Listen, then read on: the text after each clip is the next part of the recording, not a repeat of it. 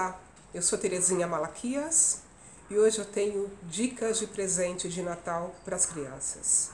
Eu fiz pela primeira vez livros, livros com a história da Thaís, minha sobrinha, da Alice, minha sobrinha, e do Marinho, meu priminho.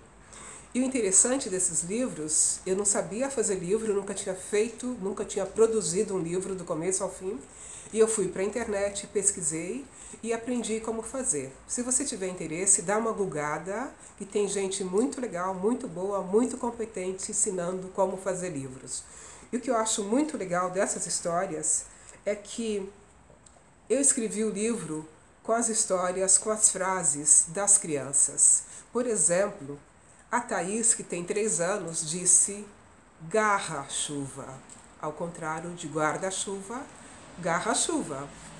Ah, a Thaís, tem, a Alice, aliás, tem sete anos hoje, e quando ela tinha três anos, ela disse assim, Tia Cris, fecha o sol.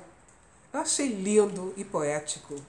O Marinho disse assim, te amo do fundo do mar. Então, se você tem uma criança ao seu redor, faça livros para elas, porque a ideia é que amanhã, quando elas crescerem, elas possam pegar o livro, reler e com certeza elas vão sorrir ao se lembrar das crianças que elas foram um dia. Obrigada.